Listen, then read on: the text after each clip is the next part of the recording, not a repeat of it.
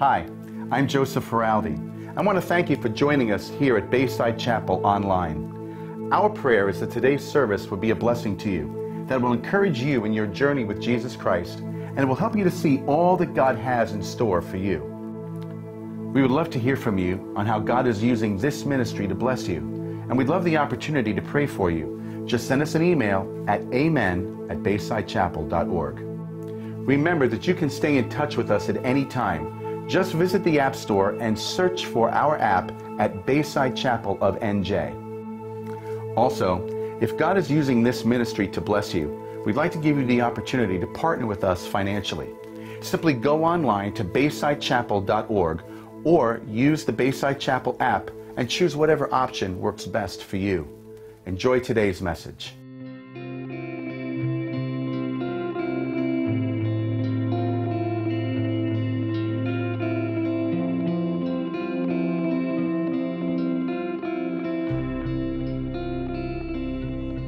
God is good, amen. All the time. Yeah, don't be shy to clap. It's not for us, it's for Him.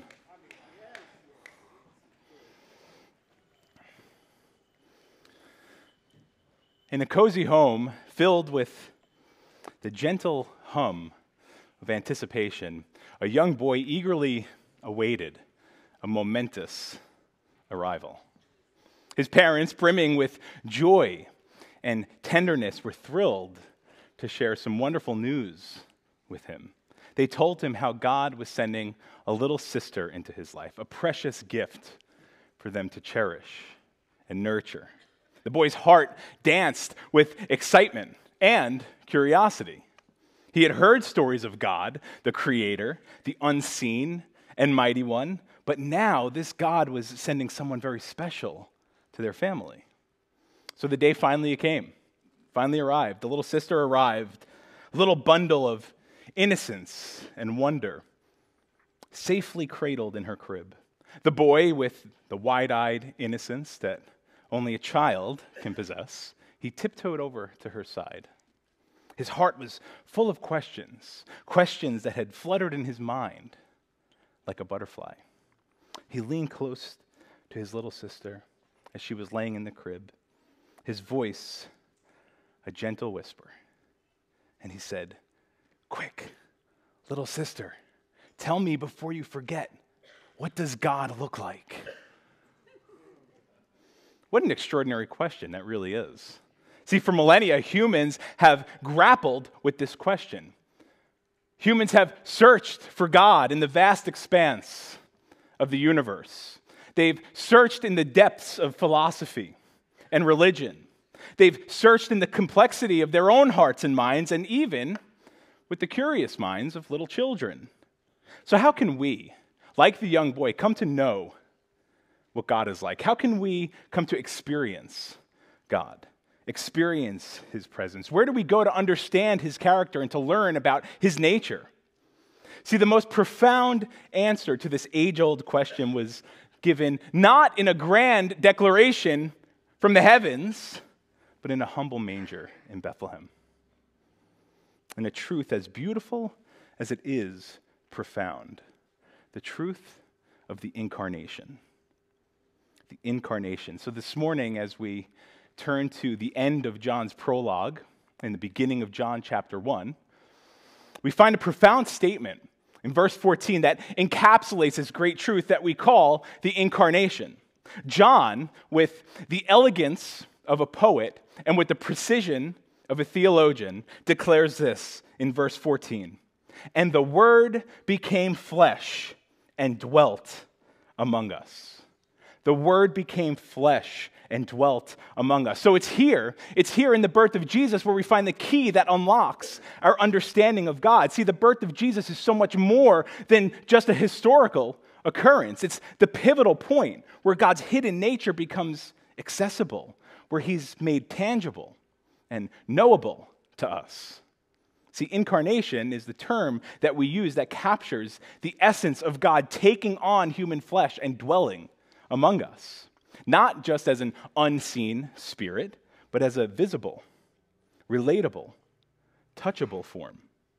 The word incarnation is, is Latin word, and it literally means to be made flesh. So when we speak of the incarnation, we're speaking of God choosing to inhabit the physical, tangible realm of our existence. We're speaking about God in all of his unfathomable glory, in all of his purity. He chooses to become enfleshed, choosing to literally step into the fabric of our human existence. So, when we talk about the incarnation, we're speaking about God bridging that immense gap between the heavenly and the earthly, between the infinite and the finite, between the invisible and the visible.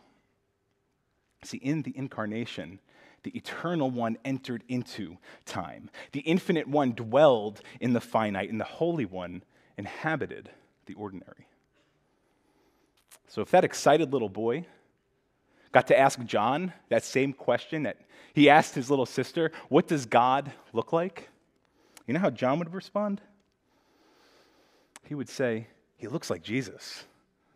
In other words, if you want to see God, you need only look to Jesus. If you want to see God, you only need to look to Jesus. As we explore John chapter 1, verses 14 through 18, we're going to discover through Jesus the face of God. Because if you want to see God, you need only look to Jesus. So, our passage this morning is going to uncover for us at least four distinct ways that Jesus uniquely unveils God to us his character, his nature. And here's the first distinct way in Jesus, the splendor of God shines brightly among us. In Jesus, the splendor of God shines brightly among us. See, when we talk about uh, splendor or majesty, um, when we're talking about this in reference to God, we're talking about His glory, the glory of God. Right? Imagine what it would be like to witness God's glory.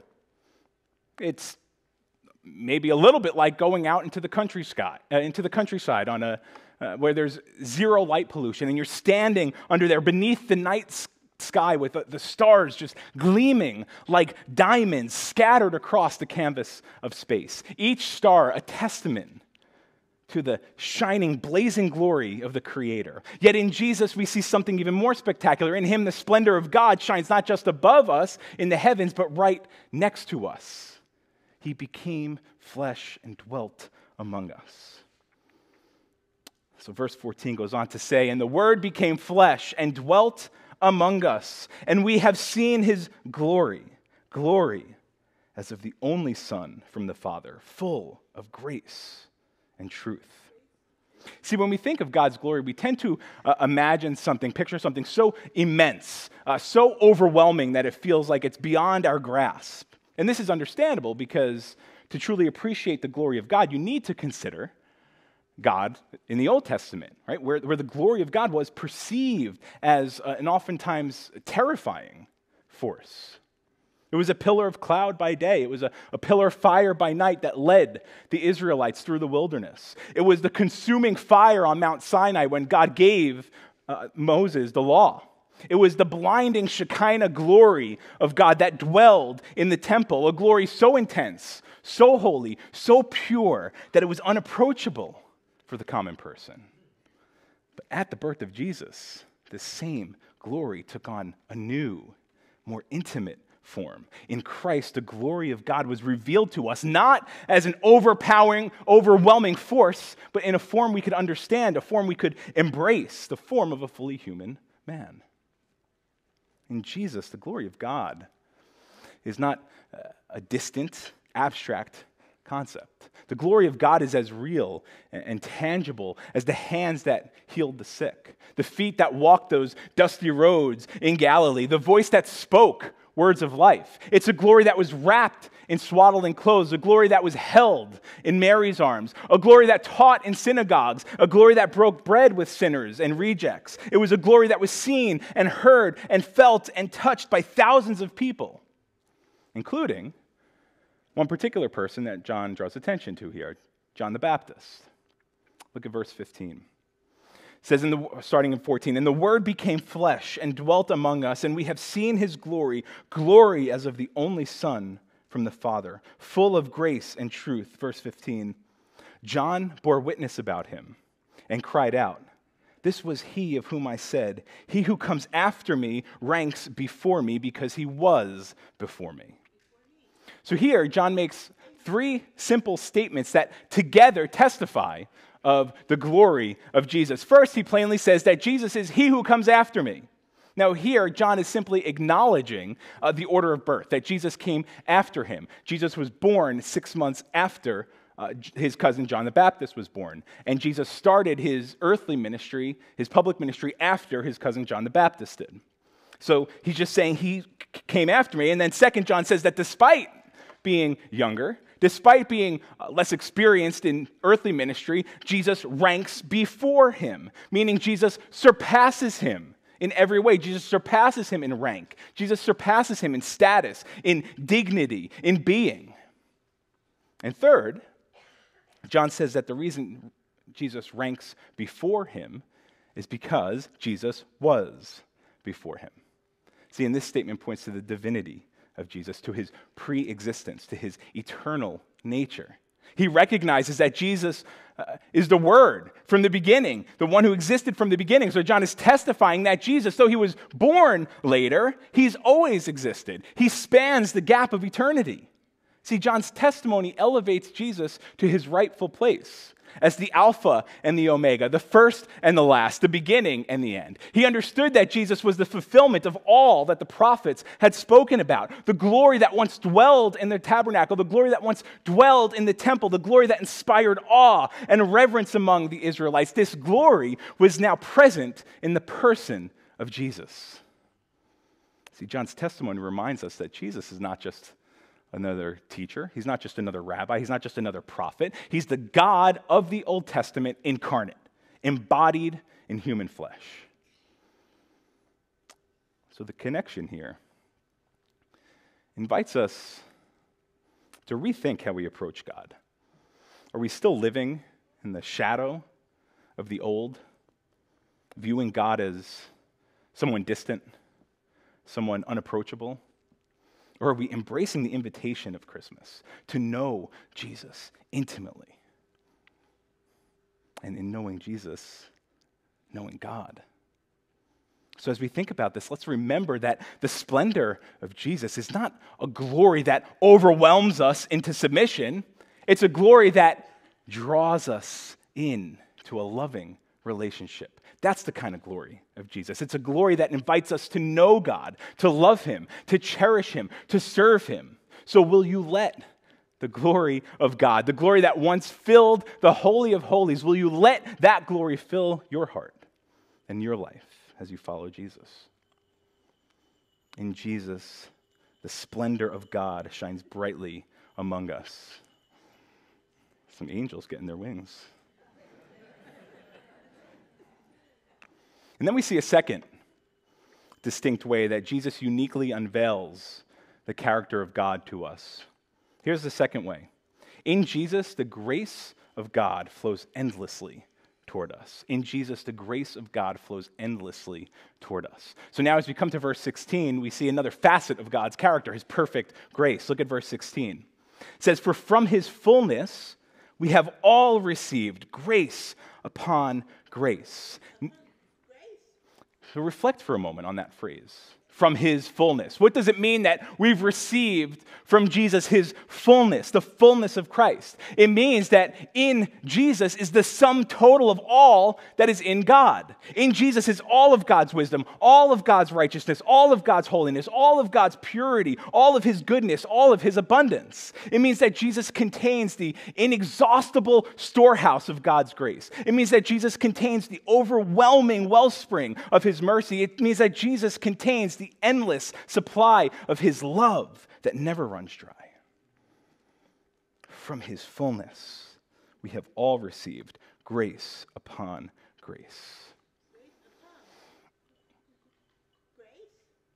See, in Christ, the entirety of God's grace is embodied, ready to be poured out on us. Not as a trickle, not as a mere drop to get us through a, a rough day, It's a never ending river that refreshes us, recharges us, renews us. It's grace upon grace upon grace. I love this imagery of grace stacked atop of grace, layer upon layer upon layer, because it so beautifully illustrates just how deeply God cares for you, just how deeply God cares for me. This is a grace that picks us up when we fall, not just one time, but every single time that we stumble the gentle, steadfast hands of God lifting us from the depths of our despair, from the depths of our sin, from the depths of our failures.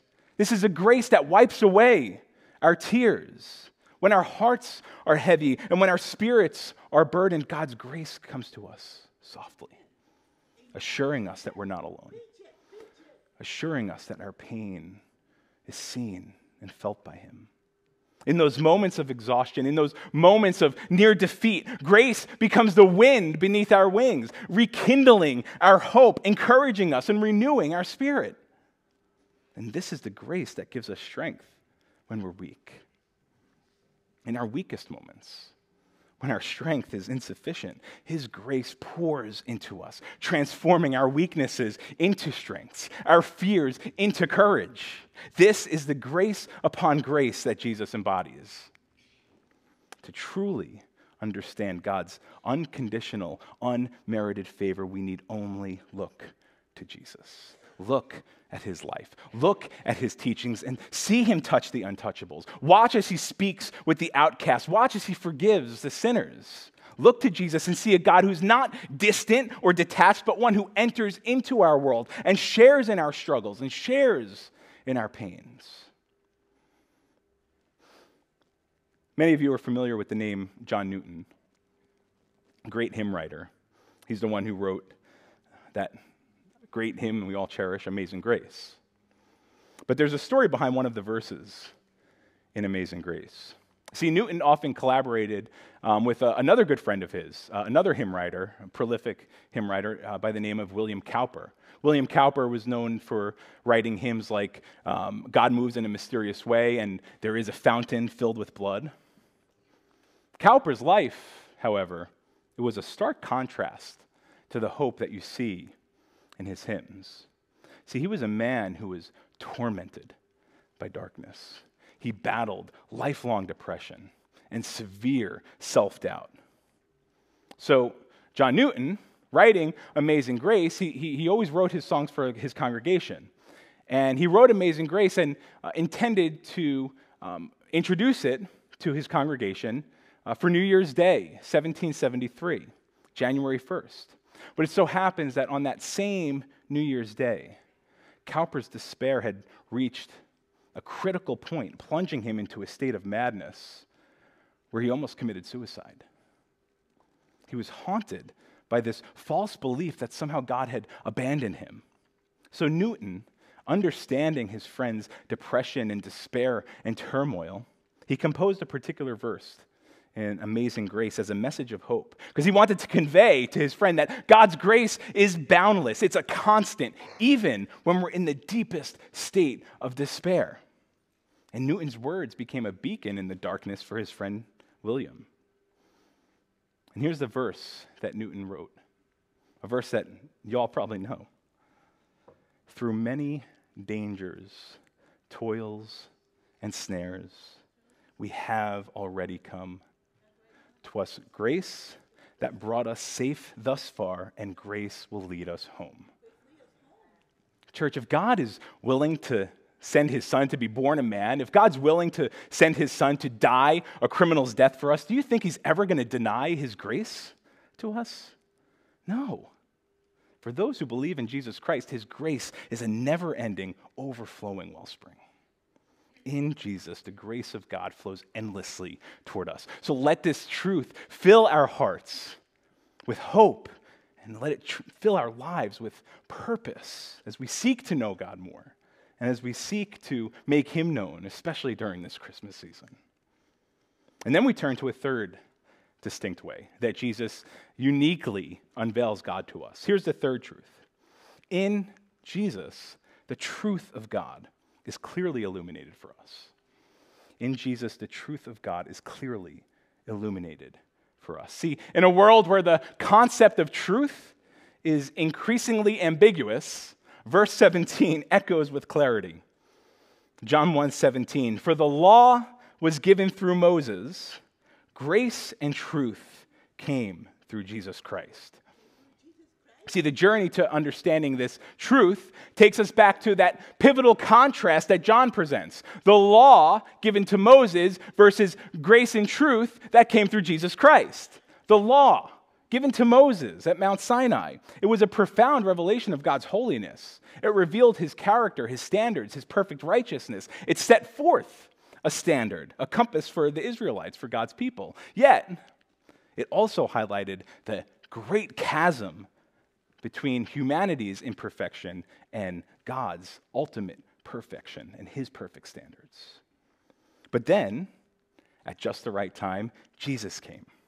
In him, the very essence of God's truth has been revealed to us, not as a set of rules, not as a religion, not as a bunch of commandments etched in stone, but as a living, breathing person. Jesus Christ, in his words and in his actions and his very being, is the embodiment of God's truth to say that is not a popular thing. This is not popular to say. It's not popular to say Jesus embodies truth.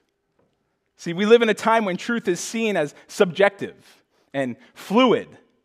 Hence, those pet peeve phrases that just hurt my head your truth, my truth, his truth, her truth. You can't fragment truth like that. That's not how that works. If truth varies from person to person, it's not truth, it's opinion. See, amidst all the conflicting voices and perspectives, the Gospel of John directs us to the singular, unchanging truth found in Jesus Christ. As Jesus goes on to say later in John chapter 14, verse 6, I am the way and the truth and the life. No one comes to the Father except through me. So, yes, your experiences of reality and your perceptions of reality might vary, but there exists only one central, unalterable truth the person of Jesus Christ. Think about his life.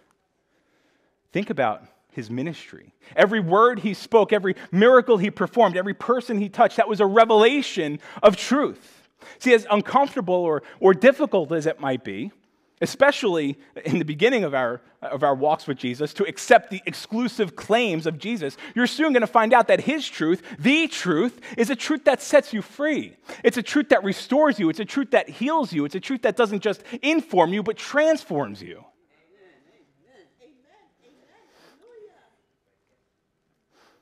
So, as you go about your daily walk, think about how often you find yourself grappling with questions or grappling with doubts or wrestling with uncertainties? Is your knee jerk reaction to go to Google instead of to God's Word? Have you conditioned yourself to search for truth in religious practices, in self help books, or in the latest philosophies. See, the invitation of verse 17 beckons you to look to Jesus, for in him the fullness of God's truth has been revealed. In his words, we find wisdom. In his actions, we find guidance. In his life, we find a pattern for our own. In his death, we find forgiveness. And in his resurrection, we find new life. Amen? Amen. In Jesus, the grace of God and the truth of God perfectly collide. It's a truth that acknowledges our failures, but then it offers us redemption. It's a truth that confronts our deepest flaws, but then it provides a path to restoration. It tells us we're more than our mistakes. We're more than our past. We're more than our limitations. That through faith in Jesus Christ, we're beloved children of God, redeemed by grace and called to a higher purpose in Jesus, the truth of God is clearly illuminated for us. It becomes the guiding light of our lives. Then, as we come to verse 18, we see the fourth distinct way that Jesus uniquely unveils God to us. In Jesus, the essence of God is lovingly unveiled to us. In Jesus, the essence of God is lovingly unveiled to us. Look at verse 18. No one has ever seen God. The only God who is at the Father's side, he has made him known. So this verse begins with a, a, stark truth no one has ever seen God.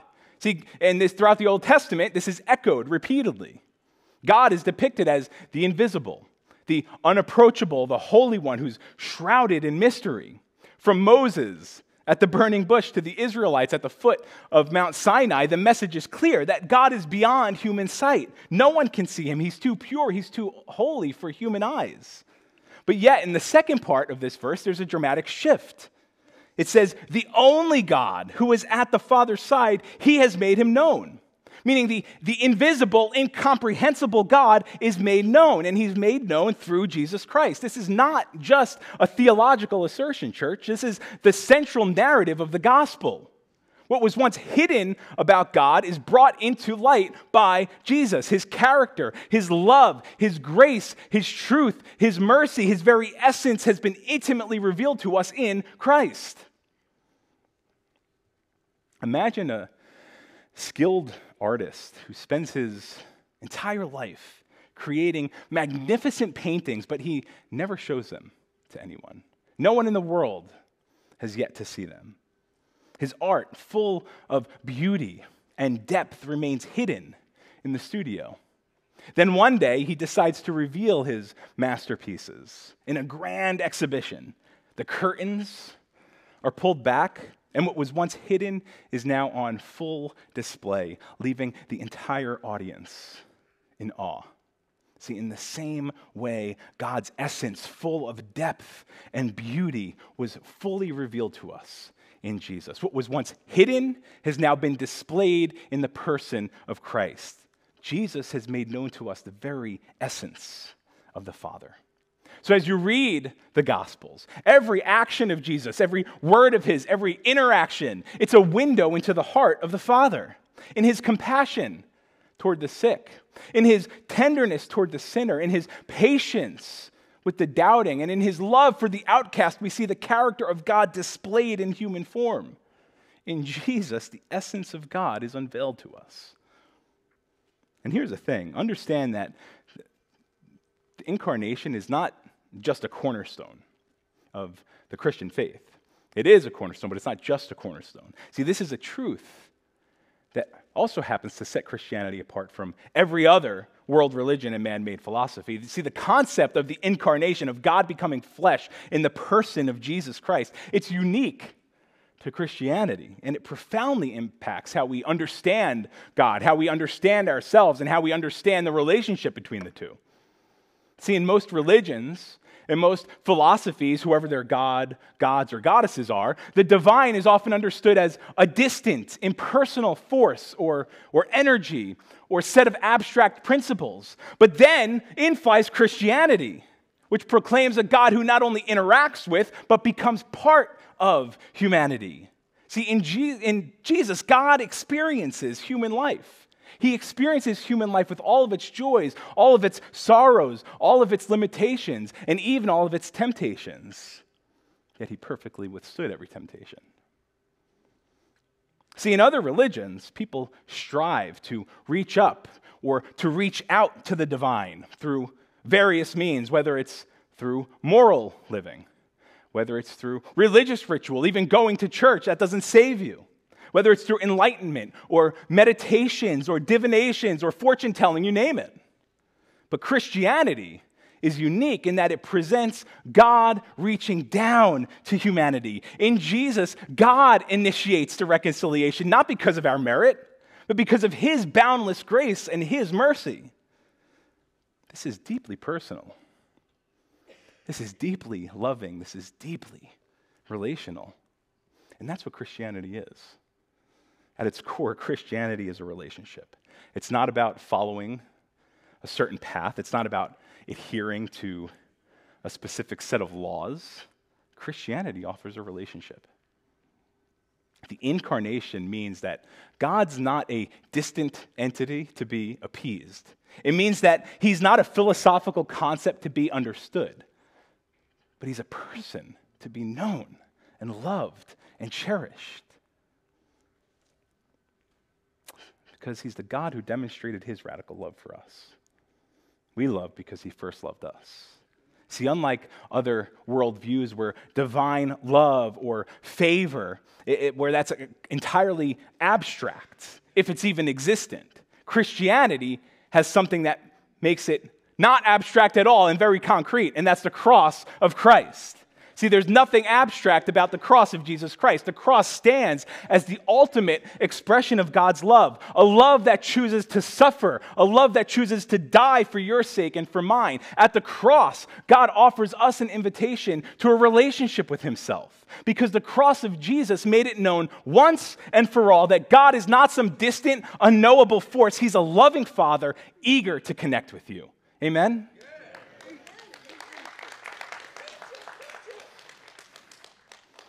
If you want to see God, you need only look to Jesus. In Him is the answer to our deepest questions and our greatest longings. Who is God? What is He like? How can we know Him? See, these questions found their answer in the manger in Bethlehem. In Jesus, the search for God and the search for understanding Him finds its fulfillment. If you want to see God, you need only look to Jesus. Let's pray.